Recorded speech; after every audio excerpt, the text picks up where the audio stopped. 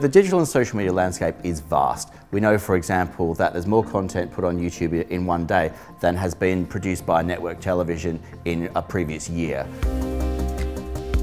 My name is Tama Leaver. I teach in the digital and social media program here at Curtin, which has been running for more than 20 years now. So the digital and social media courses at Curtin teach students everything that they need to know to ensure that they can both use today and adapt tomorrow to the demands of creating content, managing content, and thinking about messaging in an online world. I'm Cass. I study digital and social media at Curtin and I'm a content creator. I chose to study digital and social media at Curtin because when I was looking around at courses, it was a really unique and interesting course that not a lot of universities were doing. And I was really attracted to the different range of skills that I could learn within the course.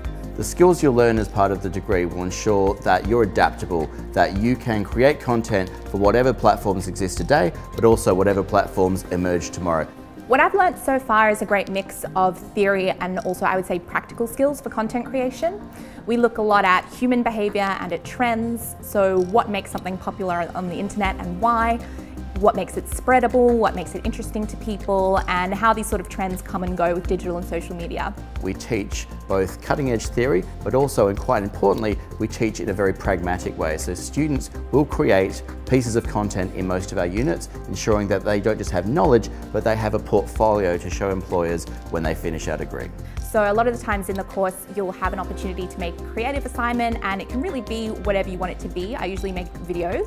People in my class made songs, they made Instagrams, podcasts, people did a whole range of other things. Graduates from digital and social media have gone on to work at LinkedIn, have gone on to work in Silicon Valley and have become influencers in their own right with millions of followers on YouTube and Instagram. If you're interested in studying digital and social media at Curtin, if you spend a lot of time on the internet, if you're a person who's really tuned in, even if you just love one or two particular facets of the online space, you can totally translate that interest into what you do here in the course.